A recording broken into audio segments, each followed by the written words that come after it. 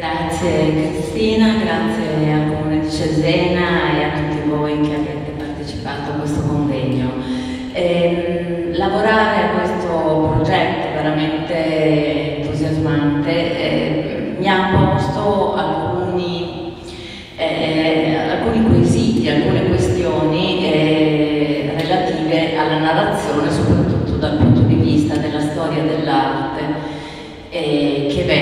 verte, quale io sono, storica dell'arte, che verte in condizioni abbastanza di difficoltà della materia proprio mh, a causa dei tempi. Quindi queste questioni di tipo metodologico mi hanno indotto a mh, filologicamente riprendere eh, le fila e andare a vedere come nel 2016 Andrea Emiliani, nella sua splendida riflessione dall'ambiente al museo, si interrogava potrà la storia dell'arte, che ha la sua estensione operativa, il suo braccio secolare nell'opera di tutela e conservazione, dichiararsi strumento opportuno e addirittura insostituibile? Ogni giorno nuovi materiali, nuove attenzioni entrano nella nostra specola e chiedono sopravvivenza, restauro e infine studio. Non si può mai dimenticare, infatti, che il fine ultimo di questa richiesta e di questo lavoro, quello della storia dell'arte, è la conoscenza dell'oggetto stesso e della disciplina. Le opere d'arte in tutti i loro aspetti, forme e tipologie, che creano, sempre citandolo, l'ordito antropologico di quella cosa grandiosa, presente in ogni aspetto e in ogni luogo della nostra storia e del nostro spazio organizzato, che solo per un difetto lessicale continuiamo a chiamare solo e soltanto patrimonio artistico e culturale.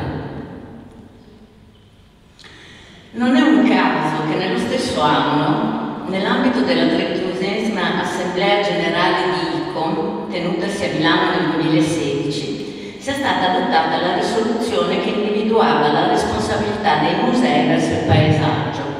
quali fattori intersecati, osmotici, nell'essere elementi essenziali dell'ambiente fisico, naturale, sociale e simbolo dell'umanità. Nella rete ricca e complessa di relazioni tra componenti antropiche, sociali e naturali che definiscono il contesto del patrimonio culturale e in questa occasione le case museo e gli studi degli artefici che hanno l'occasione di contribuire non solo alla conoscenza del valore dei paesaggi culturali, ma anche delle strutture simboliche che li determinano affinché la nozione di paesaggio culturale diventi uno strumento per valutare cosa merita di essere salvaguardato, valorizzato e trasmesso alle future generazioni e quanto invada invece messo in discussione, criticato e modificato. I numi a tutela del nostro territorio emiliano-romagnolo sono davvero tanti e la personificazione dinamica del loro spirito si è estrinsecata sì nel talento inventivo ed artistico delle loro opere, ma si è manifestata anche nella scelta dei luoghi dell'esistenza abitativa e operativa, in cui l'immaginazione e la fantasia hanno potuto librarsi con passione e magia. Le case e gli studi di ogni individuo sono un luogo nel luogo, una realtà fisica e psicologica al contempo, un'anima da scoprire. È ancora più magica e intrigante se l'anima del luogo è appartenuta a un artefice illustre, il cui corpo ha forme interiori e generatrici, espresso valori che si sono prolungati con amore nei confini dell'opera e negli ambienti, in una correlazione osmotica tra l'interno e l'esterno, tra il dentro e il fuori, che fa dello spazio dell'illustre la condizione dell'esprit e l'estensione culturale prolungata anche nello spazio paesistico e urbano attraverso i luoghi topici del suo vissuto. E questo l'abbiamo visto con storie milanesi, appunto, nella realtà urbana milanese. Le case e gli studi possono dissigillare i loro segreti e le loro numerose storie biografiche, narrate attraverso luoghi esistenziali prescelti, gli arredi, gli oggetti, i libri, le opere, le biblioteche, gli archivi, raccolti in quell'aurea di autenticità espressa dalla vita di ogni singolo illustre, valore patrimoniale della loro memoria intrecciata con l'orbito del tempo e la trama delle rinate storie, in un aggiornato tessuto di insieme che altro non è che il patrimonio culturale del territorio, riletto con uno sguardo diverso, integrato dalle relazioni e attualizzato in una geografia spaziosa, fisica e culturale al contempo, che percorre le prospettive urbane, le terre basse, le terre alte e la costa. Ogni casa, abbiamo visto, e studio, può diventare un romanzo biografico che sfida ogni categoria per interrogarsi sulle relazioni tra realtà e narrazione, tra oggetto d'uso e oggetto artistico, traendo ispirazione dall'attualità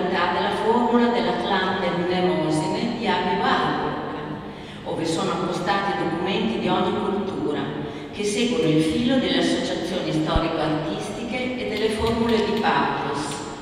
dando origine a musei sentimentali, fondati su mitologie individuali interdipendenti con il territorio e tra di loro. Nel suo lungimirante testo Storia, storie dell'arte, delle arti e valorizzazione e ancora di più in nuove sfide per la storia dell'arte per la valorizzazione del patrimonio culturale, lo storico dell'arte Pietro Petraroia propone acute osservazioni sulla situazione italiana relativa alla formazione e al ruolo della materia, proposta oggi dagli storici dell'arte tra grandi difficoltà, e traccia un viatico di condizioni essenziali per la costruzione di storie delle arti capaci di risvegliare e potenziare un impegno collettivo, nutrito da concrete speranze per il bene comune. Egli prospetta l'assunzione di approcci anche radicalmente diversi, come irriducibili modi per legare la loro memoria, esperienze, linguaggi, saperi e processi e decreta l'impossibilità dell'esistenza di una sola storia dell'arte, perché ne servono molte che coltivino la ricerca del valore e l'attesa della sua scoperta in un processo critico aperto. Quindi promuovere pienamente la valorizzazione integrata del patrimonio culturale attraverso approcci differenziati che non rinuncino alla storia ma la conoscano, la approfondiscano la leggano, la narrano, con approccio polisemico e pluridimensionale, può creare le condizioni presenti e future per il rinnovamento della materia storico-artistica, innestata sull'evoluzione di valorizzazione quale presupposto alla formazione di una coscienza civica della responsabilità verso il patrimonio culturale e anello di raccordo per un turismo culturale di qualità. Ora vediamo come le case e studi delle persone illustri si prestino molto bene a questi sviluppi narrativi, la cui messa in scena ci può essere suggerita dagli artisti stessi. Per esempio Italo Calvino ha riflesso i processi mentali interiori nello spazio visibile esterno della scrittura e Francis Bacon ha inserito addirittura le polveri del suo studio nei quadri, creando una colluzione tra l'opera e lo spazio fisico, fino a rendere l'atelier un'opera d'arte ora musealizzata, un'installazione perpetua che travalica i confini attraverso le sue opere. Solo per fare alcuni esempi, tra i 91 rilevati in Emilia Romagna, lo sguardo mobile e percettivo di Giorgio Morandi spaziava dal suo studio urbano di Via Fondazza a Bologna a quello di Grizzana sull'Appennino due luoghi in cui egli, ritrovava gli stessi oggetti della quotidianità,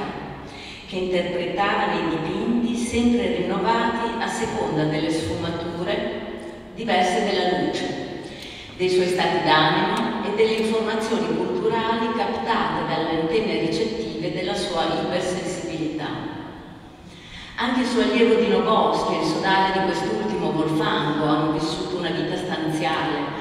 ma sostenuta da una potente immaginazione, espressa nelle loro case studio, in cui la luce è la medesima intrisa nelle loro opere, così come quella che brilla nella gamma cromatica dei dipinti di Carlo Mattioli, Claudio Cesari, Claudio Spattini e Gastone Viggi, che, nonostante i linguaggi espressivi differenti, deriva i colori dall'Appennino parmense e ne lambisce le forme interiorizzate nello spirito e negli occhi, mentre la rappresentazione del teatro dell'esistenza umana accomuna la ricerca figurativa dei romagnoli Lario Fioravanti, Alberto Suti, Giulio Ruffini e Roberto Casadino, spesso accentuata nel pathos espressivo dai toni freddi, plumbei o cinerei influiti dal mare d'inverno. In queste macchine per abitare, come le definiva Le Corbusier, la pregnanza degli arredamenti e le scelte decorative diventano una possibile nuova partitura di narrazione, orizzontale e comune a tutte le case e studi degli illustri dell'Emilia Romagna, in cui le arti decorative e l'artigianato ritrovano la dignità di racconto che è sempre appartenuta loro sino a non molto tempo fa, una lettura trasversale, integrata tra le case, apparentemente disomogenee tra loro, può invece essere il fil rouge di uno sguardo narrativo della storia del gusto, dell'arredamento e del design corso del tempo, in quanto gli oggetti decorativi si pongono come ulteriori elementi di relazione tra i diversi tipi di spazi analizzati, da quello interiore verso l'esterno e viceversa, facendo vibrare nell'atmosfera gli stati d'animo e le sprite proprietari, dai salotti e letti barocchi della famiglia Meliluppi di Soragna,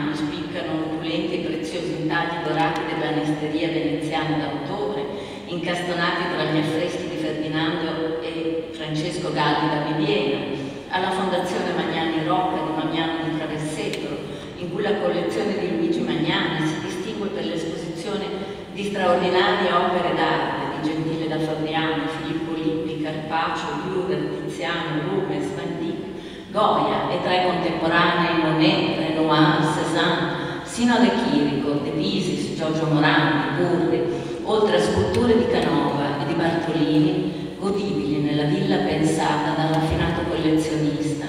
e alternati alla coppa in malachite del Tomir, dono dello zar Alessandro I a Napoleone, sposata ai mobili di stile primo impero dei fratelli Jacob e anfore in malachite preziosamente cellesellate nelle finiture, come i candelabri scultori.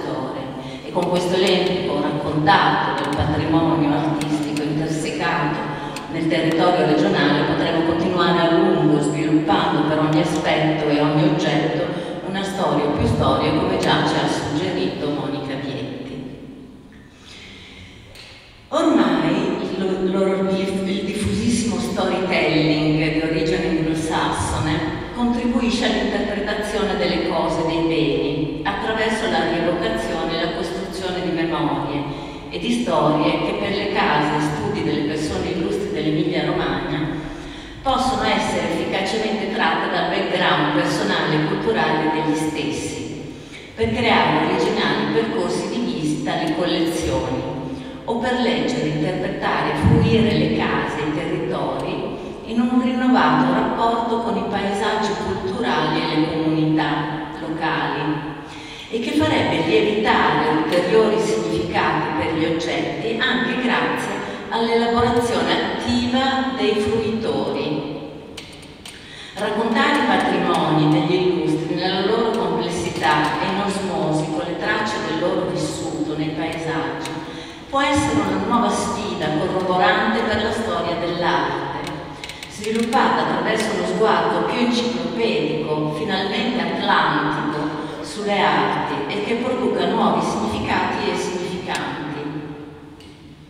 Cagliamo allora, cerchiamo di capire però quali registri di valore innesca questo tipo di valorizzazione integrata, quali parametri può darsi il narratore dei patrimoni culturali degli illustri allora, i valori che le strutture culturali possono rappresentare per l'economia della cultura sono almeno cinque. Le strutture hanno rappresentano un valore potentemente identitario, un valore economico, un grande valore creativo, un estremo valore estetico e un potente valore emozionale. Ma volendo in questa occasione proporre anche altri parametri narrativi per una rinnovata storia dell'arte di qualità comunicativa, esente da facili derive di banalizzazione, è bene trarre spunto dal faro della grande letteratura che consente di penetrare forse di stricare il groviglio della realtà. Ezio Raimondi, nel suo libro Novecento e oltre, come d'altronde Italo Calvino nelle sue lezioni americane, sei proposte per il prossimo millennio, sosteneva che i criteri della letteratura sono anche applicabili alle storie delle arti e quindi perché non attingere proprio a quei 5-6 principi indicati da Calvino e che si sono dimostrati tra i pilastri della più squisita comunicazione culturale dei primi vent'anni del nuovo millennio? La leggerezza del linguaggio, sostanziata da una profonda conoscenza enciclopedica, quella leggerezza pensosa che può far apparire la scrivolezza come pesante e opaca, la rapidità, l'incantesimo che agisce sullo scorrere del tempo, contraendolo, dilatandolo, mantenendo tesa l'attenzione in racconti brevi, che per essere portatori di significati necessitano della mobilità e della sveltezza dopo le fatiche interminabili della ricerca che le sostanzia con solidità. L'esattezza, ossia lo sforzo delle parole per rendere conto con la maggior precisione possibile dell'aspetto sensibile delle cose, la visibilità, l'attivazione di quel cinema mentale che è sempre in funzione in tutti noi, dando vita a una narrazione filmica che tocchi l'immaginazione e le emozioni del pubblico, la molteplicità come metodo di conoscenza e di valorizzazione, come rete di connessione tra fatti, tra le persone e le cose, che così ben si attaglia allo studio delle case e studi delle persone illustre. Perché, appunto, citando precisamente Calvino, ogni vita è un'enciclopedia, una biblioteca, un inventario di oggetti, un campionario di stili, dove tutto può essere continuamente rimescolato e riordinato in tutti i modi possibili. Le storie che si conservano nella memoria collettiva costituiscono anche un universo di casi singolari, di destini possibili con tutte le loro specificazioni. Tra le righe dell'ultima lezione scritta, Calvino accennava nelle intenzioni all'ultima ancora da scrivere, la consistenza, quale oggetto limitato nella sua unicità. Questo principio ci riporta alla straordinaria lezione tenuta a Bologna nel 2019 dalla sociologa Nathalie Hennig, che nell'indagare il valore del patrimonio attraverso nove registri di valore